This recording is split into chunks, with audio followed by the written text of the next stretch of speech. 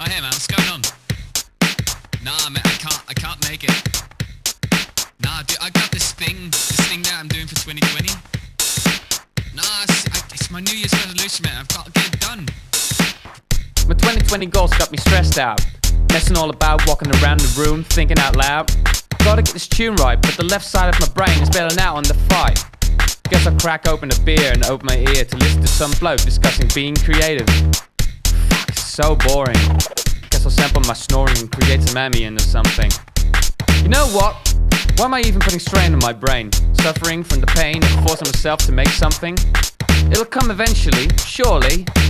Guess I'll just watch another episode of Rick and Morty. Making weekly beats should be fun. There's no other way it can be done.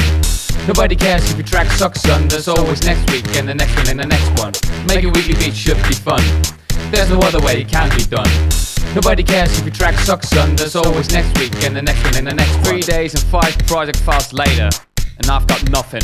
Toss aside the sheets and hit the streets for some proper excitement. On the proper creative enlightenment. Maybe go down to the pub and rub ideas with mates. Discuss ideal states of productivity. I know I've got it in me, for sure. Excuse me, could I get another pint? I just need to unwind. Sure, I've got my office job at 8 in the morning, yawning behind my PC, seeming like I'm doing shit, but I'm not. Alright, maybe after this, one more shot. Of tequila, that is. You know the biz. We're going out in style, lads. Make Making weekly beats should be fun. There's no other way it can be done. Nobody cares if your track sucks, son. There's always next week and the next one and the next one.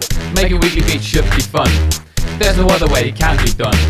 Nobody cares if your track sucks, son. There's always next week and the next one and the next one. Alright, I guess that's about two minutes. Fuck it, I'll just do this rap thing with this really terrible English accent. I've got a voice synthesizer stuck in my throat. Unfortunately, I've lost the instructions at the moment. And I haven't set the short demonstration.